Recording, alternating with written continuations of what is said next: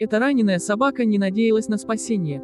У нее буквально не было сил на то, чтобы продолжать свой путь по улицам филадельфийского города, поэтому она легла на пороге незнакомого дома.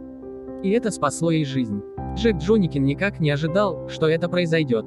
Он просто проводил спокойный день вместе с семьей и забыл прикрыть дверь до конца.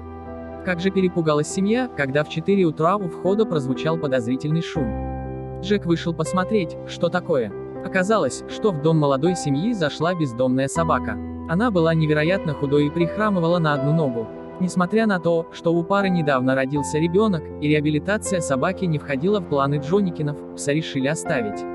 Собаку назвали Сьюзи. Сьюзи сразу же отвезли в ветеринарную клинику и вживили ей микрочип.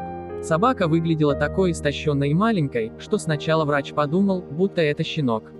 Но обследование показало, что Сьюзи около 9 лет, Сьюзи оказалась очень ласковой и спокойной собакой. Она восстановилась в весе и очень трепетно относится к маленькой дочери Джоникинов. Поэтому собака стала по-настоящему полноправным членом этой маленькой семьи.